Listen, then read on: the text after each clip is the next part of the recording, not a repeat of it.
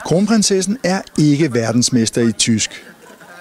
Men tegnsprog taler hun flydende. Mary kommunikerede effektivt om æblesalat og sure jordbær, da hun var på scenen i Münchens Freiheitshalle, hvor der var fokus på nordisk mad og dansk design. Tysk design oplevede kronprinsparet først på dagen ved mødet med en bayersk blomsterpige i dirndlkjole foran Løvenbrøjkælder, hvor der var erhvervsseminar.